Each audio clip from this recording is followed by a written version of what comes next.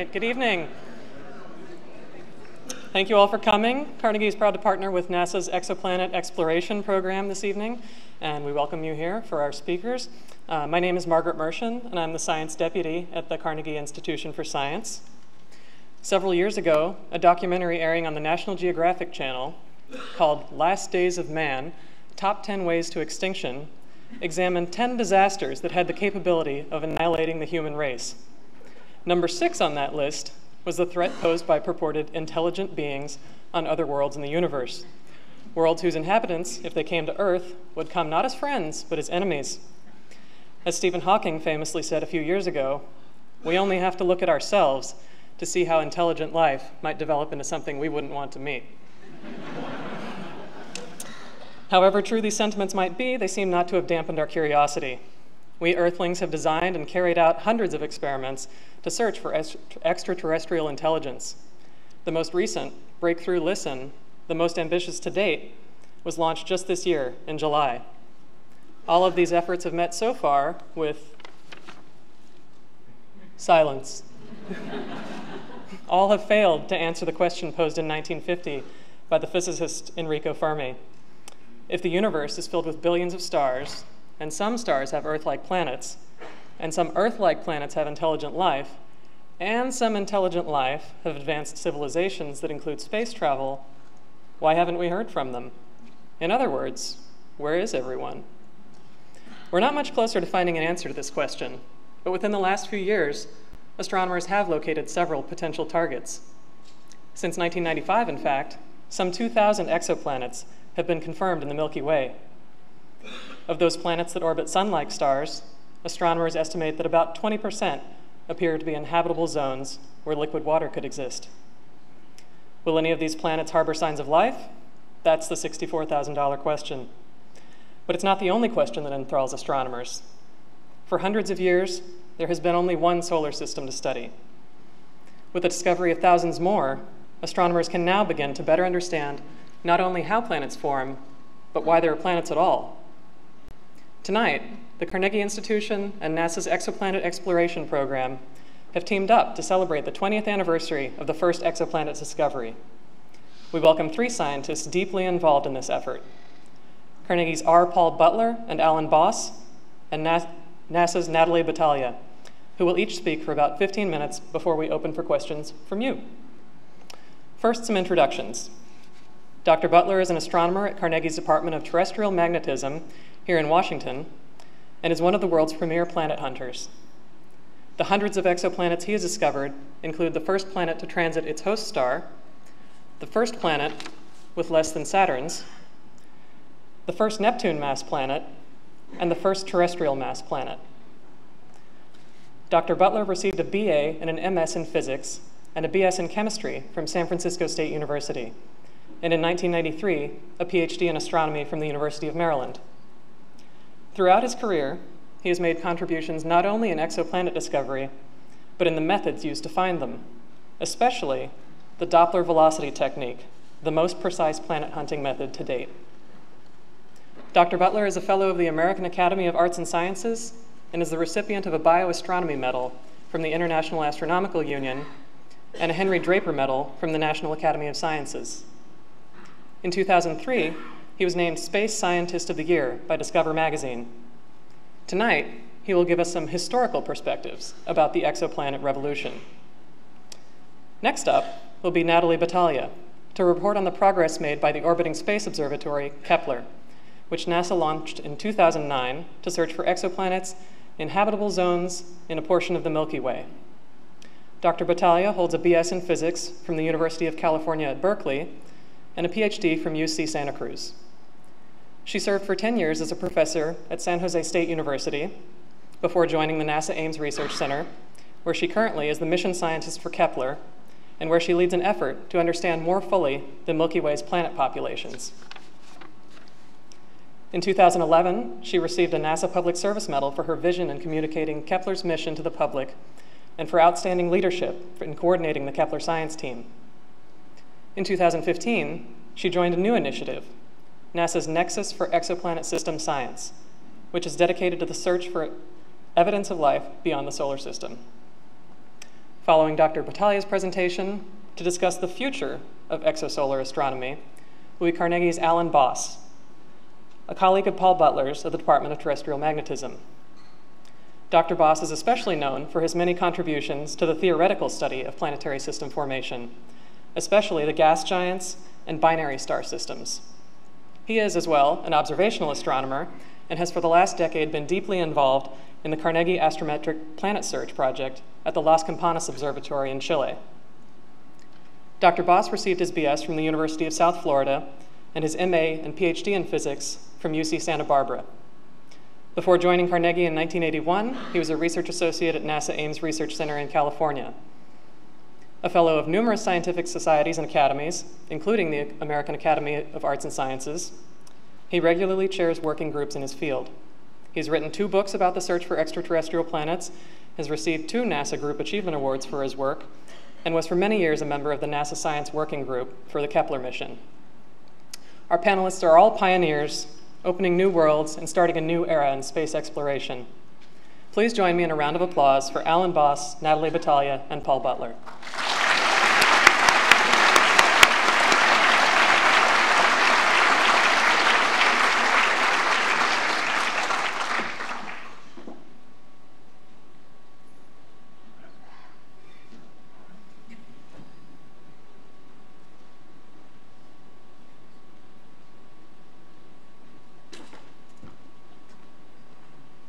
Thank you, everyone. Uh, normally, I have technical assistance getting my talks going because I'm clueless, but we're going to see if I can get this to go.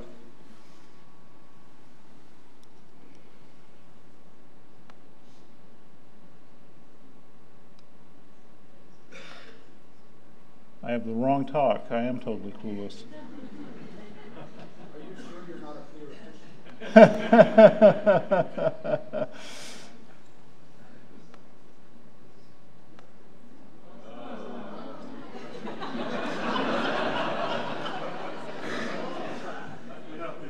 No, this is, I've clicking the right talk and getting the wrong talk. This is uh, perplexing.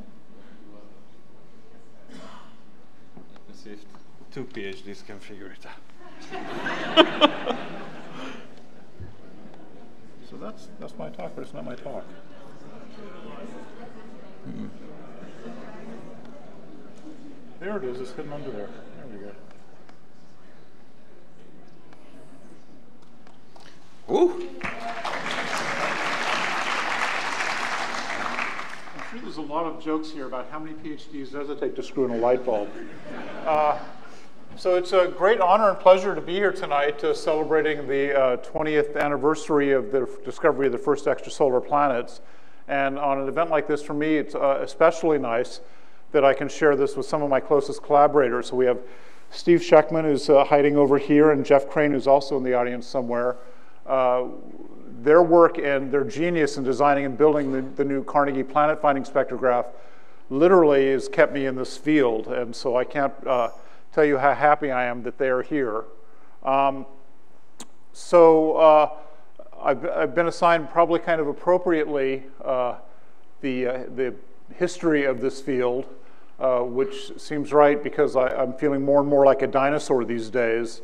Um, so you know, planets were discovered only 20 years ago, but uh, of course, uh, the idea of extrasolar planets go back much further than that.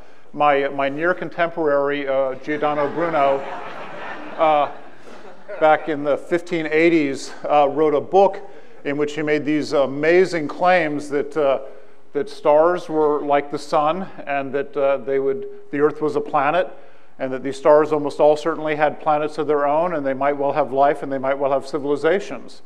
Um, of course, this is the standard plot of every Star Wars and Star Trek episode that's ever been done. But in these days, in those days, this was really quite an extraordinary thing. And uh, of course, this put Bruno on sort of the, uh, the heretical side of things. And uh, in general, things don't work out too well for heretics. The technique that finally led to the discovery of extrasolar planets is the Doppler technique. The obvious thing to do is point your telescope at a star and see the planet. The problem is even giant planets like Jupiter are a billion times fainter than their host star, and they're right next to the star. So it's like trying to find a firefly next to a thermonuclear bomb. You can't see it in the glow. So uh, we use, we've used this indirect technique uh, whereby you have a planet orbiting uh, an unseen star. So this is really dangerous. I've got a thing up here. I'm going to guess one of these things is a laser. So you have a unseen planet orbiting the star. That's what we're always told. Planets orbit stars. But of course, uh, what's really happening is the planet and the star both orbit a common center of mass. So as the planet orbits the star in a big orbit, it kicks the star into a small counter orbit. So for you can imagine that for half the orbit, the star is approaching an observer on Earth, and the light from that star will be shifted very su slightly, very subtly to slightly shorter wavelengths, or astronomers call it blue shifts. For the other half of the orbit, the star will be receding from an observer on Earth, and the light will be shifted to slightly longer wavelengths. And by measuring the amount of this light shift, you can work out the velocity of the star. And if you can see a star that's periodically wobbling, you can infer the presence of a planet. So um, this is not actually all that esoteric. Uh, it's exactly what happens when the Highway Patrol uses a radar gun to nab you for speeding. So you can see this is one of these techniques that can be used for either good or evil.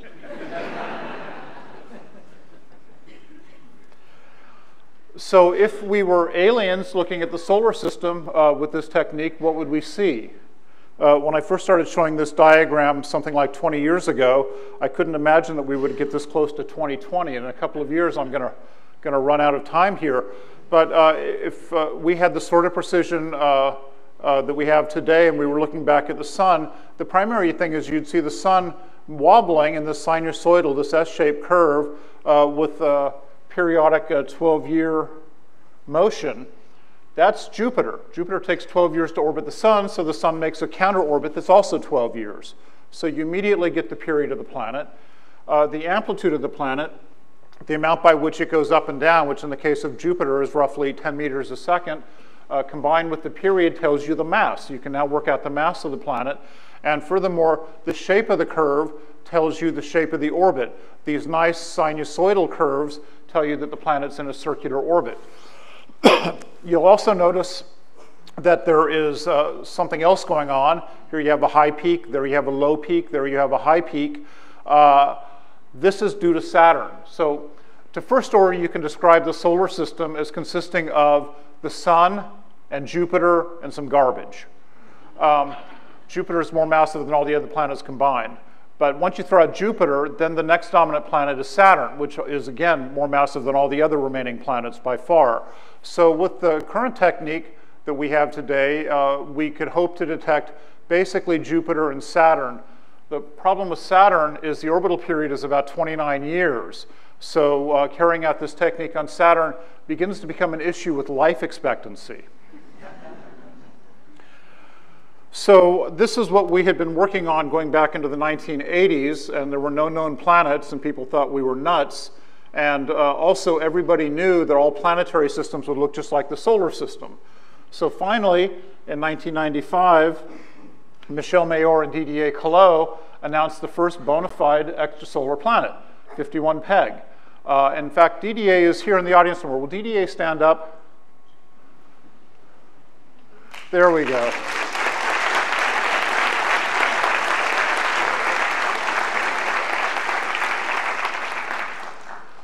So this planet is truly bizarre because you can see the orbital period, this is days, so the orbital period is four days. So there are no four-day planets in the solar system. Furthermore, the amplitude, which is about plus or minus 50 meters a second, tells you this thing is about a half a Jupiter mass. It's a Jupiter-type planet. Well, Jupiter takes 12 years to orbit. Nobody had ever dreamed of such a thing. So this thing was just wild. And this literally began the entire revolution of extrasolar planets. And it was announced, I believe, uh, 20 years and two weeks ago. Uh, so uh, this literally is the, the 20th uh, anniversary of this whole field. And when it was announced, uh, it didn't really get the full amount of publicity that it deserved uh, because of the history of the field. over the previous 50 or even 100 years, many people had announced the first extrasolar planet ever. And the one thing all of these previous claims had in common was that they were wrong. Uh, so the whole field had sort of a snake oil feel. And furthermore, everybody knew planets like this couldn't exist. So uh, uh, we had four nights at Lick Observatory uh, about a week after this was announced, and we were pretty skeptical as well.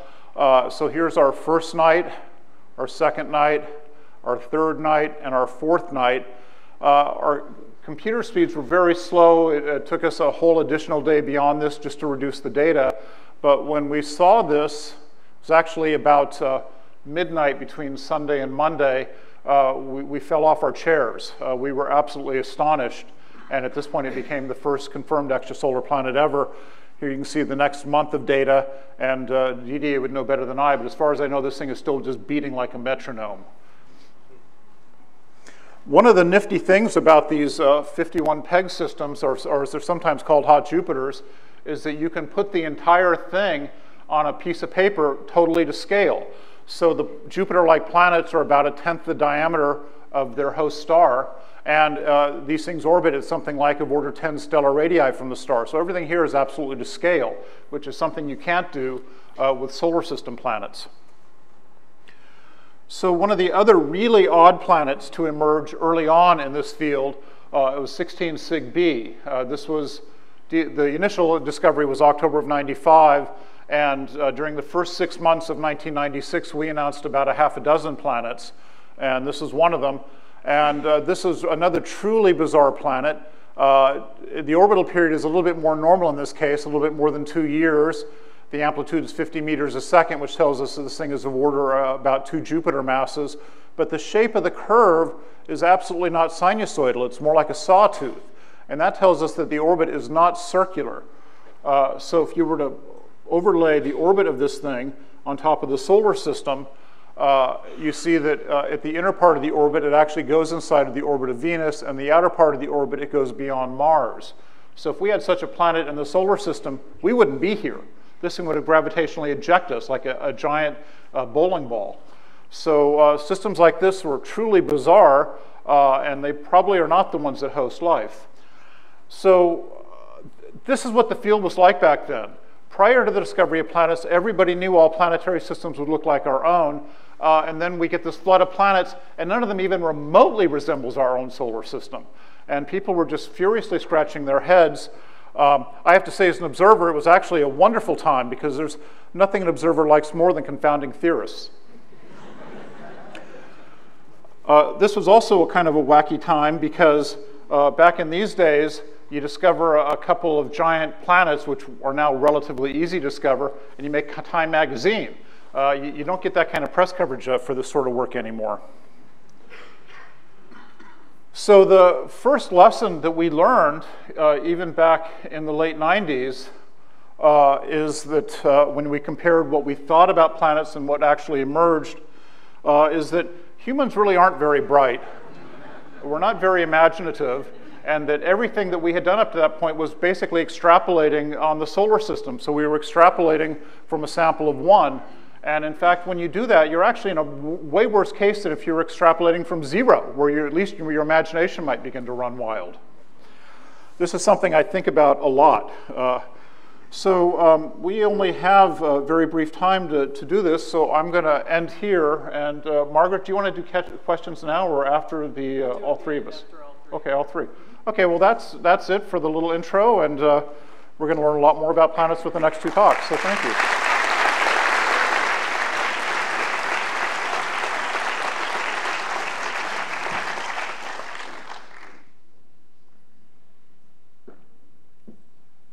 I'm probably the last person you want manipulating this thing, so I'm just going to walk away. Thanks, Paul.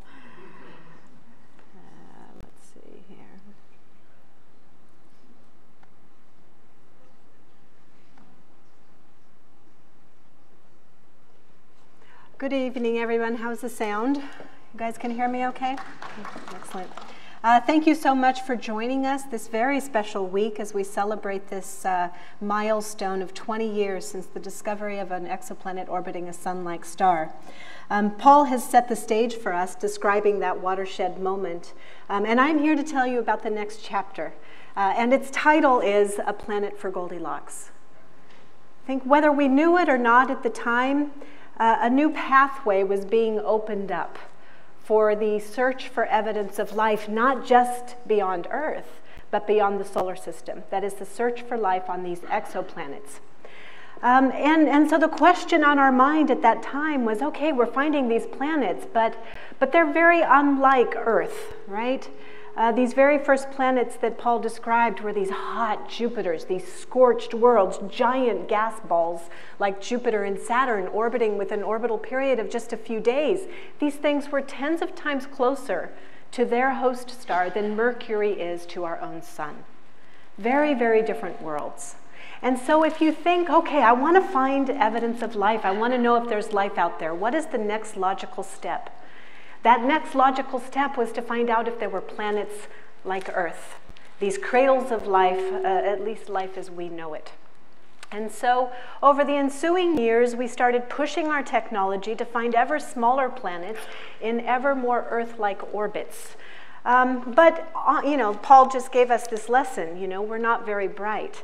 Um, but again, if you have to start someplace, you're going to ask yourself the question where is life likely to lurk, given this one example of life that we have?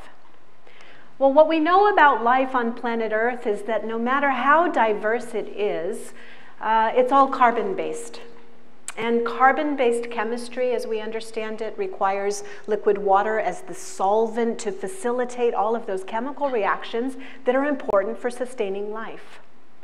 So we're looking for planets that could have these, this mix of materials, the kind of stuff that our bodies are made out of, carbon, nitrogen, oxygen, silicon, iron that is in our blood. We're looking for those kinds of elements, and where we find those is in the rocky cores of planets. Even Jupiter has a rocky core, but it's surrounded by an envelope of the most common element in the, in the universe, which is hydrogen and helium. So all of these hydrogen and helium-rich molecules comprise a very thick shroud of an envelope around these planets. And by time you get down to the rocky core in the center, the pressures are so high that, that DNA, life as we know it, is not going to exist. So we don't want to look for planets that are too large, like the gas giants. We're looking for rocky planets. And we are looking for rocky planets where liquid water could possibly pool on the surface. Liquid water being that common ingredient uh, that sustains life on planet Earth no matter where that life lurks, right? Uh, so we're looking for planets that are not too hot, not too cold, and therein lies this idea of a Goldilocks world, the just right world. And that's what we're looking for, are planets that are like Earth in this very simple sense in terms of its size and its temperature or energy, how much energy it's receiving from its parent star, and that's related to its orbital period, as we'll see in a second.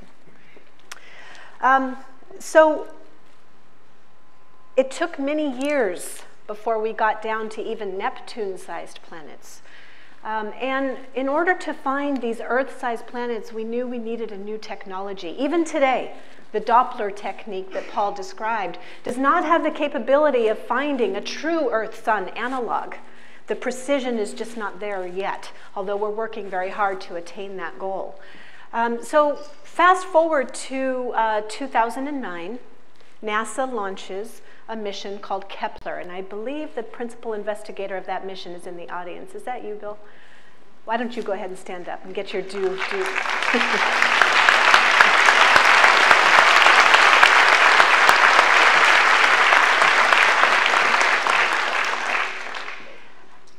Bill was proposing a new technique for finding exoplanets. And he actually proposed this technique to NASA not once, not twice, not three times, no, not even four times. It wasn't until the fifth time uh, that Bill was successful in uh, selling his idea to NASA. And this is the science that I'm going to be describing to you in the next few slides, the results of this mission. Um, so fast forward to 2009, and Bill's dream was realized with the launch of NASA's Kepler mission.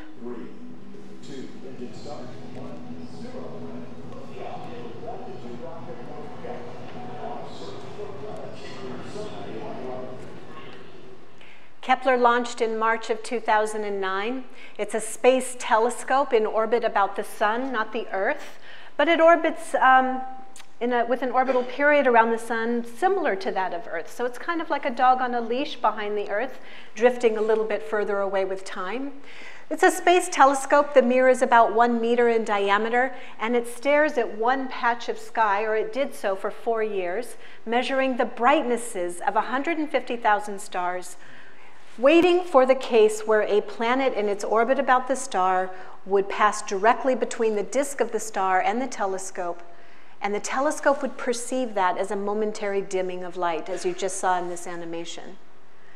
That is, the planet in its orbit about the star is casting a shadow out into the galaxy, and in some cases, those shadows will sweep across the face of the telescope.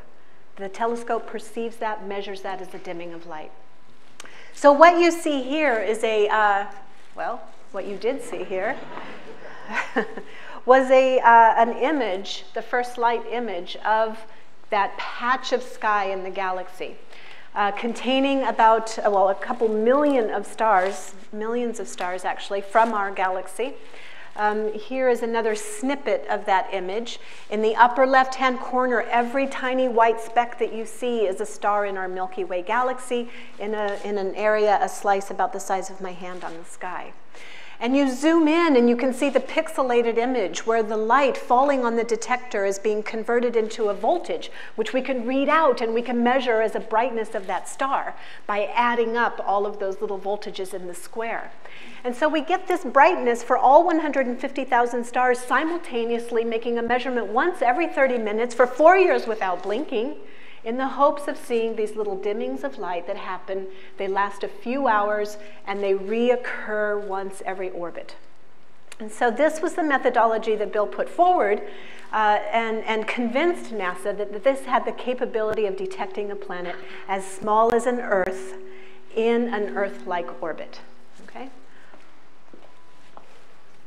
And so here's that same pixel in the upper left-hand corner. In the middle of this diagram, we see some actual data from Kepler, every white point being a brightness measurement, and you see some fuzziness, which is the intrinsic noise or scatter of the measurements, but then you see this tiny dimming of light that occurs uh, and, and that dimming of light is going to tell you something about the size of the planet. A larger planet blocks out more light and you get a deeper dimming of light.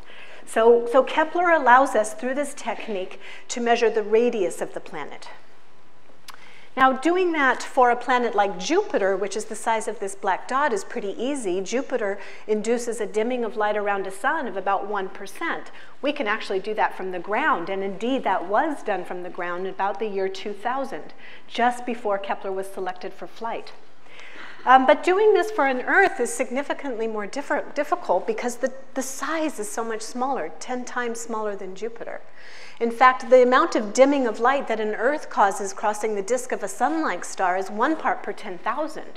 So we imagine the Empire State Building, you know, 80 stories high, and it's night and every single window is illuminated, and one person goes to the blinds and lowers the blinds by a couple of centimeters. That's the precision that we have to achieve in order to make this possible. And, and that precision was achieved by the uh, talented engineers at Ball who built this spacecraft. So we measure the size by the dimming of light, and then we measure the orbital period of the planet by the amount of time it takes to complete or between these dimmings of light. Um, and the orbital period, Johannes Kepler told us in the 1600s, is directly related to the distance between the star and the planet itself. Right? There's a, there's a relationship, a mathematical relationship. And so if you know the orbital period, you can get the distance to the star, and if you know how luminous that star is, it's like, a, like standing at a campfire, you can tell how much energy your hands would receive or how much energy that planet is receiving, and whether or not it's this just right world. Okay, so to um, summarize Kepler's science, I'm going to do it in a scattergram, a scatter plot. So on the y-axis, I have the radius of the planet in Earth units. So the number one corresponds to Earth size, which is marked by the horizontal line. On the x-axis is the orbital period of the planet, and so we see the years are ticking by from the time that that first 51 peg B was discovered up until the, the present time. Every point on this diagram is a exoplanet discovery um, made by any team excepting Kepler's. So I'm showing you the sum total of all discoveries as of 2015 um, accepting Kepler's. And what you notice in this diagram so far is that most of the planets lie above the Neptune line. Indeed, 85% of them lie above the Neptune line right? We see some patterns there. We've got the blue points that are from the Doppler method. We've got some pink points that are from this transit method, whereby you measure the dimming of light when a planet transits the face of the star. Um, but here it looks like Earth-sized planets, or Earth-like planets in terms of size, are, are rare, right? Um, but then enter Kepler. Kepler observes this one patch of sky for a full four years and searches the data for these dimmings of light. And now I will add to this diagram the Kepler discoveries. Kepler lifted our blinders to the small planet populations in our galaxy, the planets that were there in great numbers that we didn't have the sensitivity to see. But with this new technology, now all of a sudden they became visible. There are over 4,000 yellow points there, many of them stacked on top of each other, so you can't even get, really get a sense for the sheer volume of discoveries that have been made. But what's really impressive about this diagram is that now 85% of the known planets are smaller than Neptune, which underscores their, their commonality in the galaxy. Uh, later, you will hear about the future uh, you see that some of this diagram on the bottom right and on the right side of the diagram is still devoid of many planets. Um, and Alan Boss will tell you about future missions that will fill that in. So we still have blinders to the exoplanets that are out there in the galaxy, but at least for orbital periods less than three, four, 500, 600 days, which is the edge of these yellow points and inward. And for planets that are Earth size and larger, now we are in a position to be able to understand the demographics of planets out in the galaxy. And that's really what Kepler was funded to do. To answer one very simple question What is the fraction of stars in our galaxy that harbor potentially habitable Earth sized planets?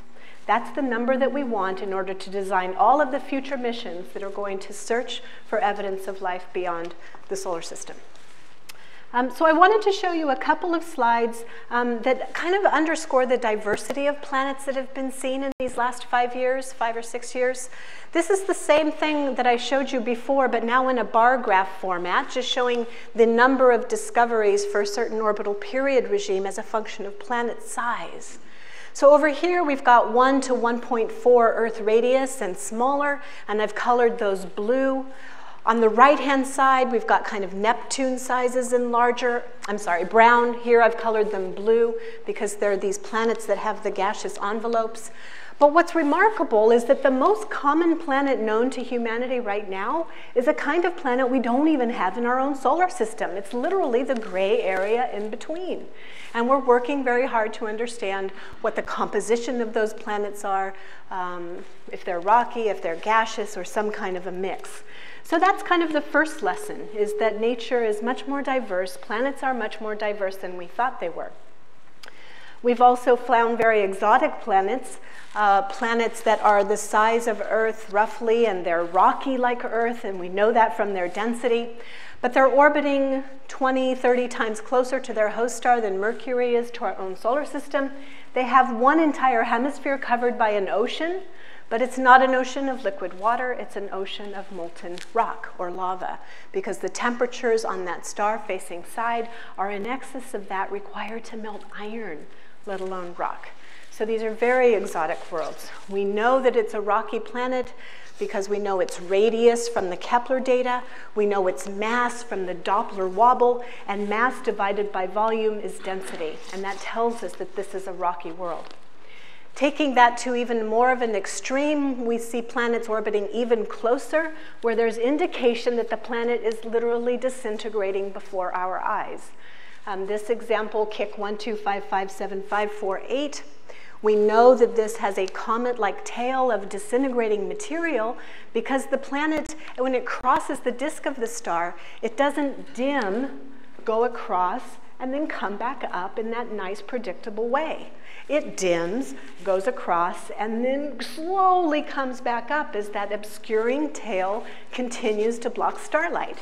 And this is what its data looks like you see it doesn't have that same characteristic shape. Uh, we know that planets orbit not just one, but two stars. These are called circumbinary planets. Finally, we showed that George Lucas was right, although he got the star size wrong. Uh, this particular planet discovered by Kepler, this is an artist rendering of that planet, uh, is Kepler 16. Uh, 16b is the planet, and it's orbiting a G and a K type star, the G being the yellowish one.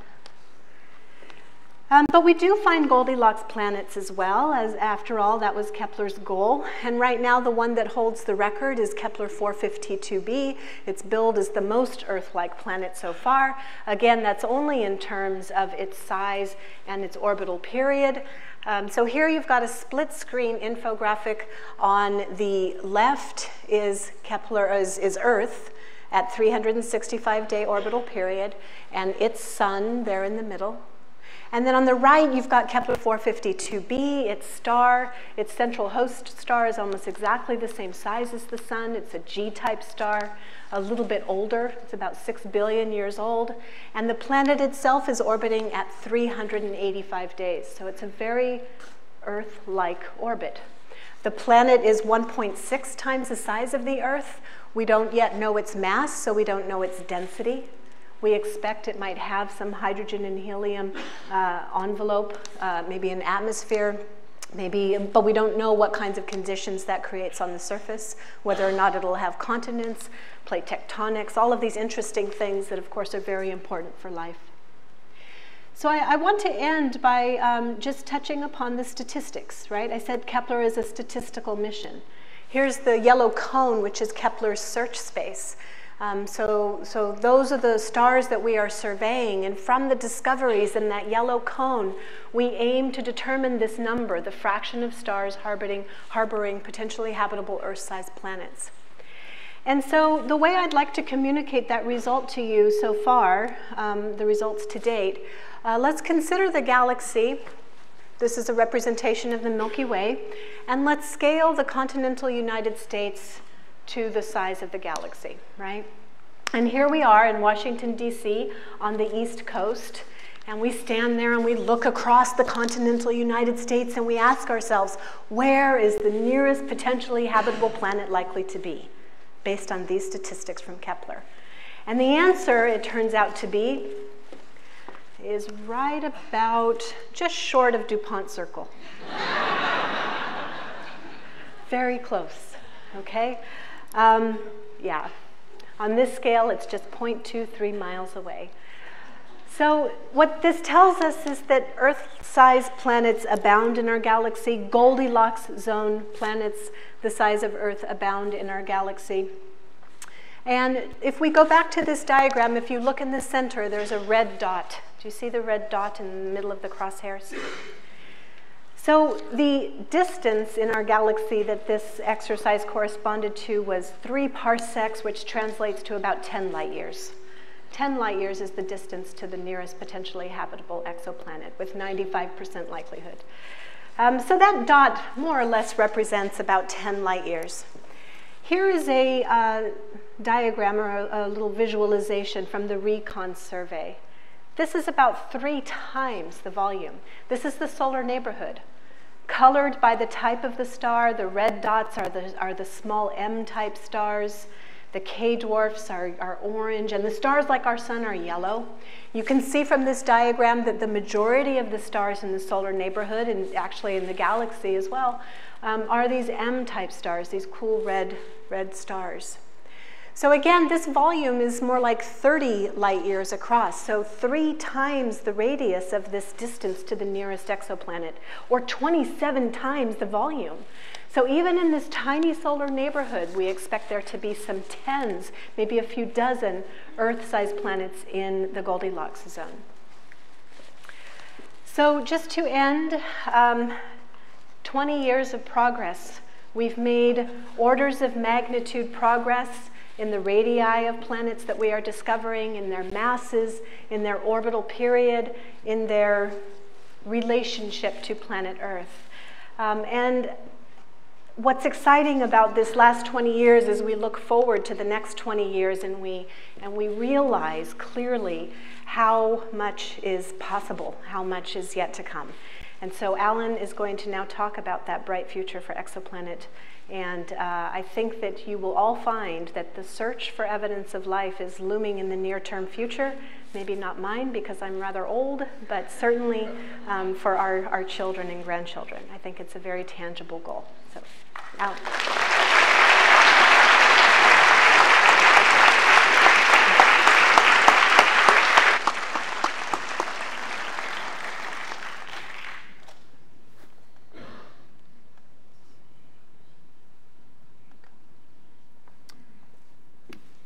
Okay, thank you, Natalie. Uh, when we were planning this, uh, this evening's events uh, a couple of months ago, uh, we had several things in mind. One was, of course, as you pointed out, uh, that um, this is 20 years after uh, the October 6th announcement of 51 Peg by Michel Mayor and Didier Queloz. but yesterday also was the 20th anniversary of the publication in the Washington Post of the confirmation by Paul Butler and Jeff Marcy. And so we're really close to that pivotal event. And I will point out that the Washington Post confirmation was published on the front page of the Washington Post, whereas the Mayor and Queloz uh, announcement was published on page A37. So it made it in section A, but didn't make it on the front page. Uh, the Marcy and Butler one was below the fold, though, on the front page, so it wasn't quite uh, right up there. But more importantly, October 21st, uh, 2015 is, of course, important because that was the date that uh, Marty McFly typed in the DeLorean in Back to the Future. And so tonight I'm going to be effectively your Marty McFly and take you into the future and tell you that uh, in spite of the fantastic things you heard from Paul and Natalie for what's happened in the last 20 years, you ain't seen nothing yet. It's going to get even better. So let me start off with uh, future of ground-based astronomy. Uh, shown here a couple of uh, highlighted a couple of uh, Carnegie telescopes from starting with the uh, the Hooker and the, the Hale 200 inch. Uh, primarily the uh, workhorses are the Magellan telescope, 6.5 meter in size. and Carnegie is currently planning the giant Magellan telescope, which you'll see another graphic of in a moment. Why do astronomers keep wanting bigger and bigger telescopes? Well, two reasons. If you're building a spectrometer, you want to have a lot of photons you make a telescope twice as big, you have four times as many photons, you can do things four times as fast. If you're trying to do direct imaging and resolve things, you make a telescope 10 times as large, you can see things 10 times smaller.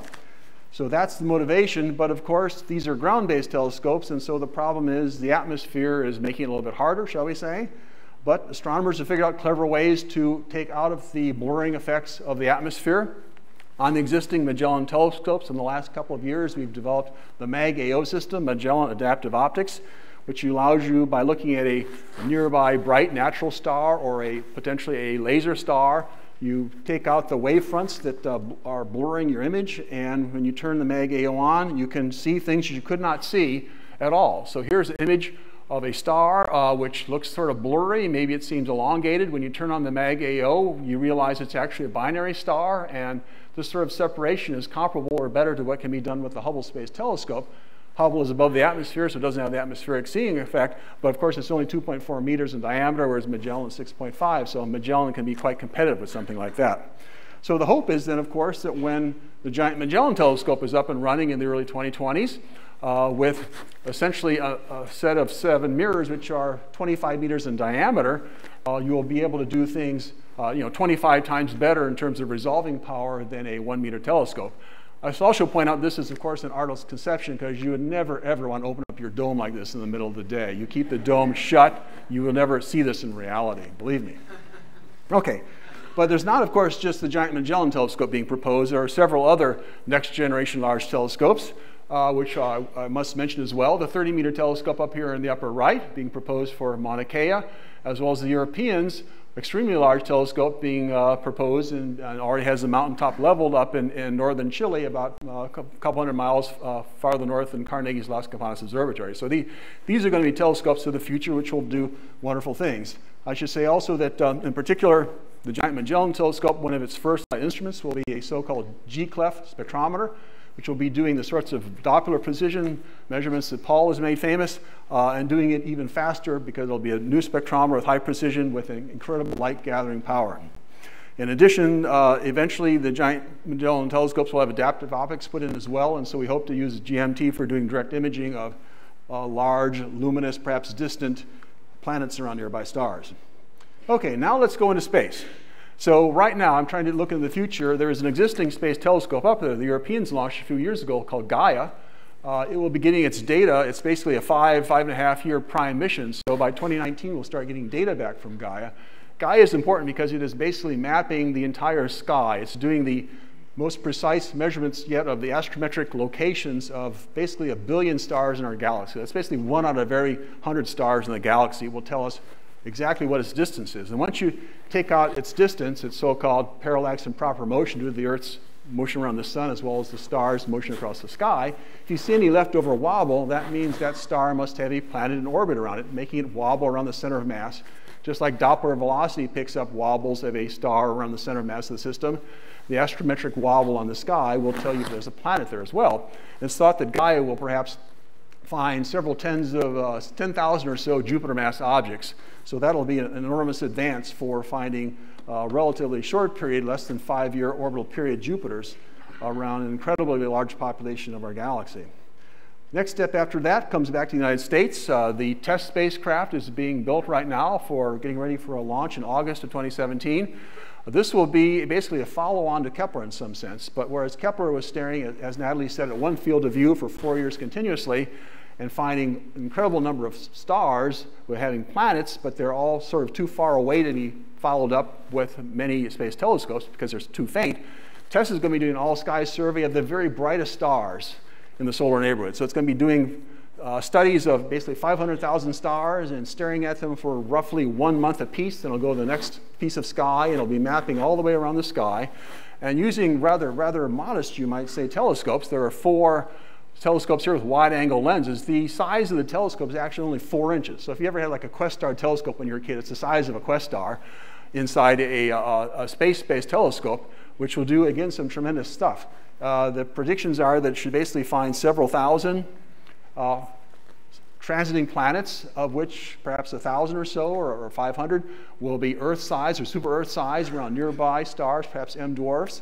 And even though the orbital periods will be rather short, because it's only going to stare at a given uh, field area for maybe a month or so, so the orbital periods will be short. If you're around an M dwarf star, an orbital period of a few weeks is enough to put you inside the habitable zone because M dwarf stars are so faint that you can still have liquid water on a short period orbit. So the nice thing about TESS is, especially with its launch, is that it'll be ready for the following year when JWST is launched. And JWST observing time will be very precious. And so you want to know ahead of time where to point JWST because this is a major flagship mission for NASA. And JWST will be looking at an observing list chosen largely by TESS to look at some nearby M dwarfs and, and check to see how the spectra of the combined star-planet system varies as the planet transits in front of and behind the star. If you separate, you can imagine, you know, taking three spectra, planet plus star, star plus planet on the front, star only, no planet here, and you subtract all three of them, you can learn an awful lot about the atmosphere of that exoplanet. And the hope is that you'll be able to find up some of the biosignatures in those spectra and tell us something about whether or not these M dwarf super Earths might be habitable. And the estimates are that you, know, you should basically should be able to find a, a, handful of these objects that JWST will be able to st uh, study in some detail. After that comes the next big uh, decadal survey uh, telescope, uh, which is, was, was uh, supported by the Astro 2010 Decadal Survey called the WFIRST telescope. It was originally uh, built to be motivated by dark energy and microlensing surveys, searches. But then, and at that point, uh, given the budget constraints at NASA, the, the, the, design reference missions that were being planned were relatively modest space telescopes. They were only one meter to one and a half meter in diameter, because that's all the money we thought we had for it. But then nicely, a few years ago, the National Reconnaissance Office said, well, you know, we've got a couple of basically Hubble quality space optics sitting in a, in a, in a cold room up in upstate New York, and uh, you can have them, NASA. And NASA said, yeah, I think we'll take that.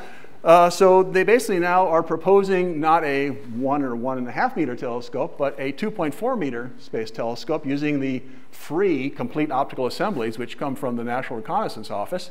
And because this telescope is, of course, now bigger than the ones considered, it means it can do the primary missions in some sense faster, which means there's now some time to do something else. And so I'll show you in a moment some of the other things that will be done with this wonderful new asset that uh, NASA has accomplished. But its primary mission in terms of planet finding is to do microlensing planet search. Microlensing is something that Einstein uh, predicted back in the 1930s. He didn't think it would ever be practical because he didn't understand the technology we would have now for doing large cameras with very uh, precise measurements. But the idea is basically if you happen to be staring at a background star, like towards the, the bulge of our galaxy where there's an incredible rich field of stars, and if you notice this background star, and if a foreground star, which you don't even see, happens to pass in front of your star at just the right alignment, the gravitational field effect of the mass of the star, Einstein predicted, will bend the light subtly towards you. So you'll see the background star mysteriously brighten for about a month and then come back down again. Very strange effect. The only explanation for it is that there is something passed in front. If in addition this foreground star happens to have a planet, on top of that month-long brightening, there may be a one or two day spike where the planet also adds to the gravitational focusing. And so if you see this rather characteristic signature of a month-long brightening with a one or two day spike, you can interpret that with a little bit of modeling as a planet uh, in orbit around that foreground star. And in fact, I'm happy to say that the very first microlensing detection was done at the Carnegie Las Campanas Observatory by our, our Polish colleagues using the Warsaw 1.3 meter telescope. And uh, unfortunately, this is just an artist's conception because it looks better than the actual image of the, the star, which looks pretty dull. Uh, and that, you're not going to get on the front page of the Washington Post with that, I'm afraid. Uh, but the, the science is still equally profound. So uh, WFIRST was intended to do this microlensing survey, and the very nice thing about it is, and I'm sure one of the reasons why it was so convincing to the Astro 2010 panel is that WFIRST is very complementary to what we knew Kepler would be doing. Kepler is sensitive to rather short period orbits, basically orbits with uh, you know, less than, uh, less than one year or so because it was able to take data for four years if you want to see several transits occur to make sure you understand it. So it's primarily going to find objects with orbits inside the Earth's orbit if you're thinking in times of the scale of, uh, of our solar system. So you're filling out the short period orbits. WFIRST is the exact opposite. It's most sensitive to things which are farther away. Basically, in terms of the scale of our solar system, it's basically the asteroid zone and beyond, and even out to tens of AU. So WFIRST microlensing will be filling out the census for the, uh, the middle to the outer portion of the solar system, which is very nice. It'll give us a much more complete census of what we know about extrasolar planets. then, as I hinted before, because of this larger aperture of this telescope, there's a little bit of extra time, you might say, to do something else. And uh, the decadal survey last time around said, you know, NASA really should be putting some effort into figuring out a way to do a direct imaging mission in space. And so cleverly, NASA came up with a way of doing that. There is now built into the baseline design for the telescope uh, a, a occulting mask coronagraph, which is going to entail two different versions of a coronagraph, which is basically a very fancy way of putting your thumb on, on the star and blotting out the starlight so you can see a planet around it. As, as, as uh, Paul pointed out, planets, even Jupiter mass Jupiter size and mass planets are roughly a billion times fainter than the host star. Earth is maybe uh, 10 billion times fainter. So it's a pretty tough project. And it's a little bit tougher because with the AFTA telescope, the National Reconnaissance Office uh, telescope has spiders which produce extra diffracted light. But the uh, folks who designed coronagraphs got some rather clever designs, and you can see this rather peculiarly structured um, coronagraphic mask for the so-called shaped pupil design. And they've shown in the lab that this thing will actually perform to quite good contrast of orders uh, 10 to the minus eighth here. And that's just, this is as of a year or two ago. They're continuing to improve that. And so there are two designs being carried forward. There, there was a shootout a couple of years back trying to figure out which ones are the best ones, and these two have, have uh, advanced as being basically ready for, for flight development, and ongoing work is being uh, continues to this day about it out at JPL as well as our colleagues at Princeton University. So the hope is that we'll be able to have a direct imaging coronagraph capability on WFIRST AFTA in addition to the uh, microlensing survey. So there's great potential there, and for especially for imaging, uh, with contrast that cannot be done in the ground. So here's a plot of the contrast achievable with various telescopes. Here's Earth down here. Here's the Holy Grail in this box here, the separation. If you're pretty far away and, and a bright planet, it's not too hard to see. These are some uh, uh, self-luminous planets which have been uh, already observed by either uh, uh, ground-based adaptive optics imaging. Here's GPI instrument down at the Gemini South Telescope. It's sort of the state of the art. JWST will not, was not designed to do this, so it's not going to function very well for direct imaging. Uh, even the European Extremely Large Telescope is not going to quite do as well as we hope the WFIRST AFTA will do. And so while WFIRST AFTA will not quite be able to get to Earth's, We'll certainly be able to do Jupiter, Saturn's, as well as a number, uh, a couple dozen or so of the known radial velocity planets. So we know for sure we'll be able to image these as well as you can imagine. If you can imagine, you know, the, how the Kepler search space is filled out saying, you know, there are a lot more smaller guys than bigger guys. You can imagine there are going to be lots of things in here that WFIRST will be able to image as well. All right, so that takes us up to maybe 2025 or so. What's next? Well, believe it or not, it's already time at NASA headquarters to start planning for the Astro 2020 Decadal Survey. And uh, Paul Hertz and uh, folks at the Astrophysics Division have uh, we're having a meeting this week actually at Goddard to talk about what sort of missions should be developed in anticipation of the Astro 2020. And there are four missions that uh, make perfect sense based on the previous work that had been done in, in putting together roadmaps, as well as uh, what was hinted about in the Astro 2010 decadal survey. And the two of perhaps most interest for direct imaging are a habitable exoplanet imaging space telescope, which is sort of notionally thought of as something roughly eight meters in size, which would achieve contrast of 10 to the minus 10, or perhaps a much larger UV optical infrared surveyor, perhaps as large as 16 meters. So those are the ideas that we'll be discussing later on this week at Goddard. And uh, I'm sure Paul Hertz will, I hope that he will accept the recommendations that are coming out. And which one of those will be chosen, uh, you know, we're not quite sure. these are, again, notional concepts for what these might be. Uh, it could be something like the old TPF coronagraph, which was an eight, eight by three and a half meter off-axis telescope, so it didn't have the obscurations that AFTA has with, with a big uh, star shade around it. Uh, that is poss one possible concept for HabEx. Could also be, a, a, instead of a coronagraph, it could have a star shade where you fly a separate, very cleverly designed opaque shield which blocks out the starlight and does, it's a very fancy thumb basically. And if you just put it at the right distance, uh, it will do a wonderful job also for allowing you to see planets. Or it could be that perhaps uh, this even larger concept of ATLAST, which is a, again a notional concept that was proposed a while back, well, perhaps this one will win. And the question is, which one will it be? Well, that is to be determined because that's up to the uh, Astro 2020 Decadal Survey. So let me just finish by saying, uh, showing you this incredible sweep of missions we've had from NASA to start.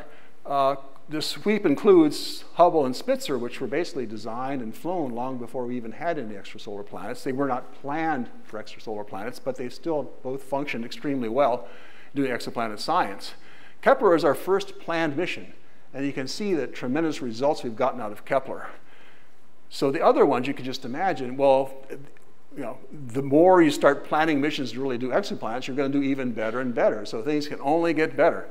TESS, JWST, WFIRST AFTA, and then this New Worlds Telescope, which we're not quite clear what that will be. There are a couple of images there that are possible. Uh, but in addition, there is ground-based work going on. There's a large binocular telescope interferometer, which is underway right now out in, uh, in Arizona. It'll be doing a very important thing for looking for debris disks and understanding to what extent our imaging surveys will be compromised or complicated by background zodiacal light that might make it hard to find the planets. There's a new precision dedicated Doppler spectrometer that uh, NASA and NSF are supporting. And in addition, of course, we have a whole other uh, set of colleagues across the pond. The Europeans have been act equally active and interested in all of the science. Uh, they had launched the CoRoT mission shortly before Kepler launched. Uh, they have Gaia flying right now. CHEOPS is basically a clone of CoRoT. CHEOPS will be doing follow-up transit spectroscopy of just a few targets. We'll not be doing searches. It'll be doing more focused spectroscopy on known transiting planets. They also have plans to launch Plato, which will be another transit search telescope in the future. So that's basically where we are right now. And as I've said at the beginning, uh, if you think what we've seen so far is, is exciting, uh, it can only get better. So thank you very much.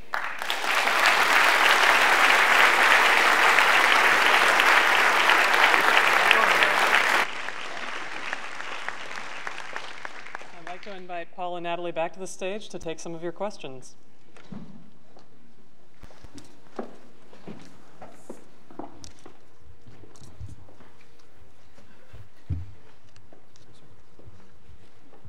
Margaret, are you going to oh, yeah. moderate? And if you would like to just step up to the microphones in the in the aisles, then we'll take turns going back and forth. If the Earth were placed uh, 30 light years away, um, a similar distance to these uh, exoplanets that you've uh, found, and that planet were emitting energy into space just as the Earth has done historically, would we be able to detect transmissions from the planet? Do we have the technology to do that? And and and I would assume that the, the speed of these signals is the same as the speed of the light that you're uh, that you are observing. And I would think that that information would be all combined together, and we would be receiving that today. You mean actually you, just, you want to see the reflected light from the from the Earth, assuming it had a star? You're talking about SETI, like research. Uh, I'm sorry, uh, radio signals, like the SETI. Yes.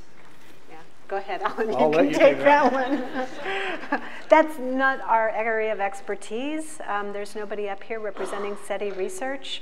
Um, Do you mean from like television programs and things like that? well, yeah. I think our strongest source or the, our strongest emanations are not actually I Love Lucy broadcasts. They are the early warning radars over the North Pole, which for decades were searching for Soviet ICBMs coming at us and probably had Soviet look, radars looking that way. But those, I think, are the brightest objects we've had. And whether or not they would be detectable at, at 30 light years, I don't know. But I, that would be the one I would look at My, first. my, my understanding is that we would be able to detect a directed emission. So not just diffuse kind of, you know, I love Lucy, but if, it, if somebody were out there directing radiation towards us, then that's what we have the technology to do. Uh, well, up to now, that might change. As you've heard, there's been a significant investment in SETI research is made recently, so that might open up new, new sensitivity. Thanks.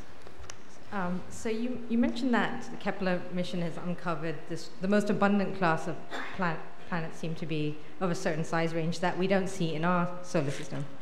So I was wondering if you have some speculation as to why we might not see that size range, and it, would it have anything to do with the orbital shapes being different in different solar systems? So Alan is an expert in the theory of planet formation, but before I turn it over to him, let me make one small clarification. Oh, right, yeah, I'm a Um, biologist. so so- those, what we call super Earth slash sub Neptune kinds of planets, um, they're not necessarily the most abundant type of planet in the galaxy, but they're the most common planet known to us right now. In other words, of the planets that we have discovered, that comprises the class that are most populous. Right. Um, but when you do all of the bias Right. corrections with regards to what we actually see, when you try and map the, the population of things that we've discovered to the intrinsic population of planets that are in the galaxy, that requires some bias corrections. And when you do that, it looks like that the smallest planets are the most common. Um, but. That doesn't change the fact that we don't have any of those in our own solar system. Right, right. So what do you know, Alan? Yeah, this, this won't take too long because we don't know much. Uh, you know, as Paul says, observers love to thrash on theorists, and we're not even putting up a fair fight at this point because we've never we've not been able to predict anything to speak of. In fact, we're having a hard time even explaining what's been seen. So I would basically put the box score as observers 4,000, theorists zero. we, we can't even truly understand the formation of all the gas giant planets in our solar system. Although people claim to make it, that's still still dubious.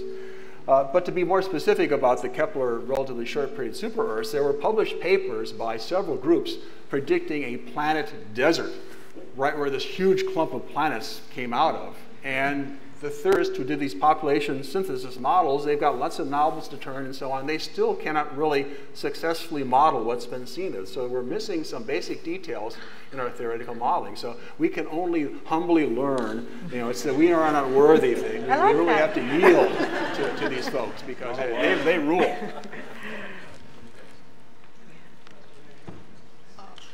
Is there, within the future, is there a direction to try and develop the spectroscopy or whatever to analyze the atmospheres of, of the planets and determine uh, if or there's any type of climate or those kinds of things? Yeah, absolutely. I mean, there's this dynamic duo, which is TESS and JWST that Alan talked about. TESS is going to find nearby planets. It's going to survey the whole entire sky, not just that one cone, you know, going out 3,000 light years, but nearby. And then JWST is going to be able to do something called transmission spectroscopy, whereby you collect the light that's coming from the star when the planet passes in front. And so that starlight is filtering through the atmosphere that's on the limb. And when it does that, the atmosphere is leaving its fingerprint on the light that you collect. And so there you can spread that light into a spectrum and you can try and find what that atmosphere is made out of.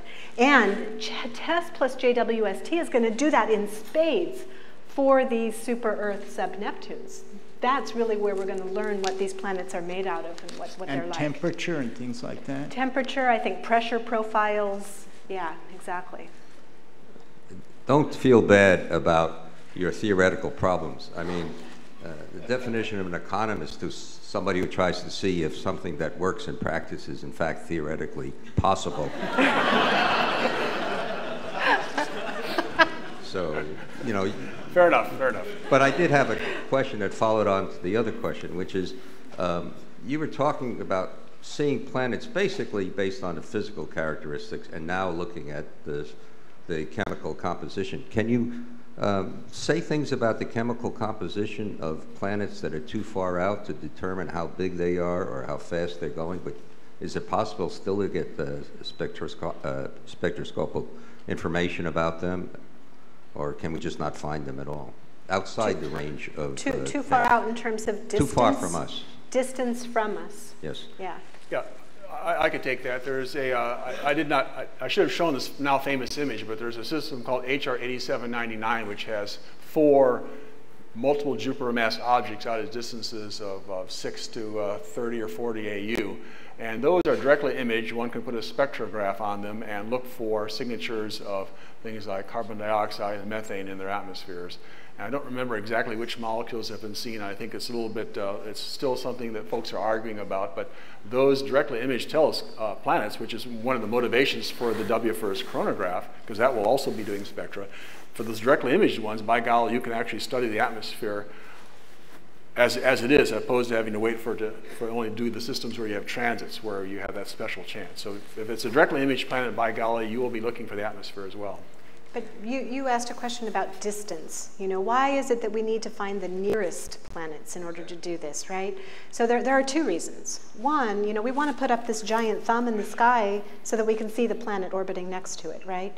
The planets are going to be very faint. They're like 10 billion times fainter than the star that they orbit, right? So we're photon starved which means we want the planets or the systems to be very close to us because brightness drops off as 1 over the distance squared. So, so that's one reason. The second reason is we don't want to put up our thumb and cover both the star and the planet, right? And as these systems get further and further away, you know, they, they shrink, right? So that's why we want the very nearest of, of systems in order to see these Earth-like planets. That's all the 99% of the photon, or especially the more or less visible light uh, oriented area. But what about, um, say, radio telescopes or quasars or you know, more exotic uh, ah. sources of energy. Are we completely blind about whether these have planets, or is there something a little bit exotic that can be done even uh, far out of the environment that you're talking about?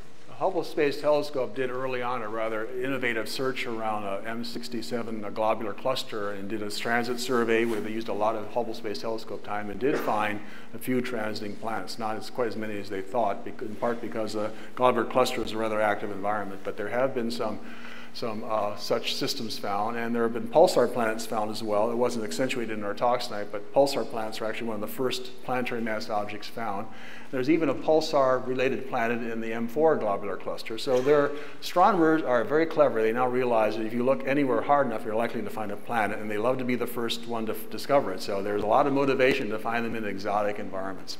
Let me just also say in relation to what you were talking about wanting to find the closest planets, one can imagine that when we find evidence from TESS and from JWST that there really are some close by, maybe a few parsec away stars that might have uh, some M dwarfs that have habitable worlds that look like they've got methane and carbon, uh, carbon dioxide and water and ozone. Uh, I can think that uh, some future NASA will want to you know, send a little tiny camera.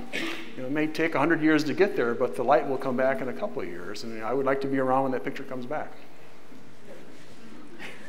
Better eat your broccoli. Probably not, but I, I won't be here. But you know, I, am supposed to say my children. You know. I, I, I still want to see it though. I, I recently came to understand that our end comes in about 200 million years when our sun collides with its nearest neighbor star. And since I learned that, I've been wondering about whether we might, in that time, uh, uh, gather the capacity to jump to another star. And I wonder if you all have ever thought of yourselves as the earliest scouts looking around for uh, some place where, uh, you know, after 100 million years, uh, halfway to our perdition, uh, we might make the jump uh, to another star uh, technically possible. Have you ever thought of such a thing or not? When, when Kepler found its first rocky planet and we did the media announcement, I was preparing for that press event the night before, and I, I, I know that Kepler 10, the, the star is something like 500 light years away, and I just went to the year, I, I Googled the year that was our current date minus 500 years, and of course it came up the dawn of the age of exploration. And I, I, mean, of course, of course we find parallels, right? I mean, we're, we're searching for new worlds and, and, uh, and all of that. We can't help but think about that. And, and I do hope that we leave this planet one day and become an interstellar species because I think about how life evolved when it went from water to land, and I wonder why, what possibilities might be unlocked when we go from land to space. Of course. So you had mentioned a possible stellar collision in 200 million years. I don't think we can predict the orbits of our, our stellar companions in the galaxy to that precision over that time scale. But we know for sure that the sun will become a red giant in about 5 billion years or so. So we've got you know, 5 billion years to, to get the hell off of the planet. so I think we have just enough time, given that uh, constraint, to take one more question from each side. that's, that's quite a segue, yeah. think you're next. Um, so with moons such as like Europa and Titan being um, possible um, life-bearing moons, is there any possibility for observation of uh, exosolar moons and um, observation of their uh, possible atmosphere and um, possible life conditions, not only based on their um, orbital period and distance from the star, um, but also how they're related to their uh, host planet?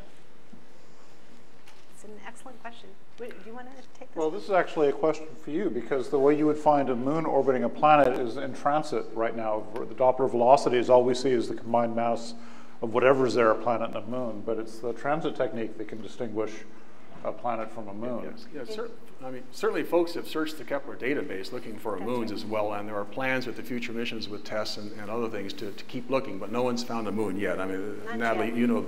Not yet. They're looking hard in the Kepler data to see. I mean, in theory, you should be able to see one, but they're very difficult to detect because they don't have the same repeat repeatability that planets have. Um, but yes, people are looking. They haven't found any yet. But that said, there are, I think, over 100 giant planets in the Goldilocks zone. So that makes it a very interesting region for Pandora-like scenarios. As a theorist, I will predict there are moons out there.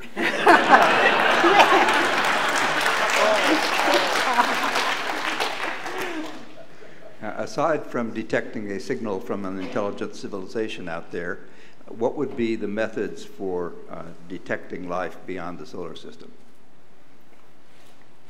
Go ahead.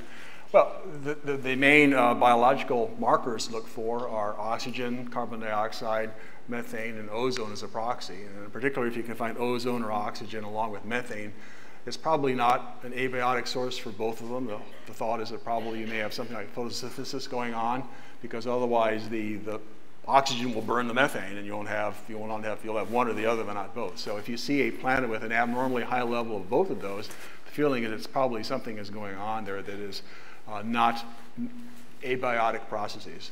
Uh, that's the most direct way we have right now. People talk about other biological markers, other things are being proposed, but those are the, the classic simple ones.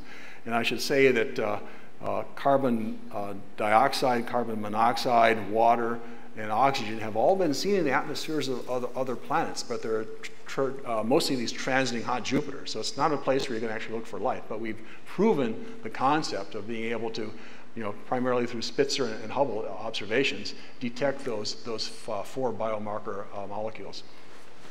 And the, the other gentleman asked about moons, right? Um, brought up Europa. I mean, there really are three pathways for finding evidence of life beyond, this, beyond Earth. One is to look at solar system, right, at, at, the solar system planets like Europa, like Enceladus. We will go to Mars. We know it had water once. We saw liquid water running just recently.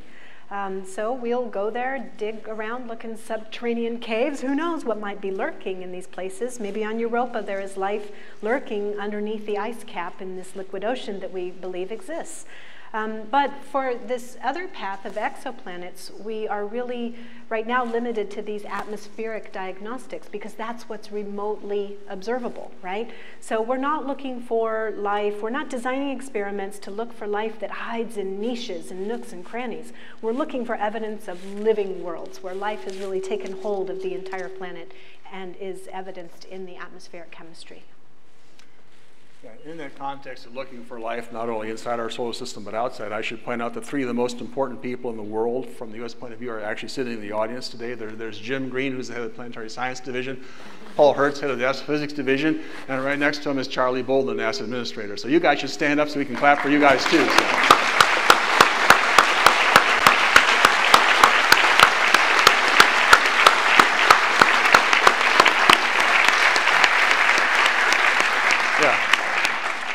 Keep oh. the money coming. well, as you've seen, we have much to celebrate and much to look forward to, and let's thank our speakers again for sharing it with us.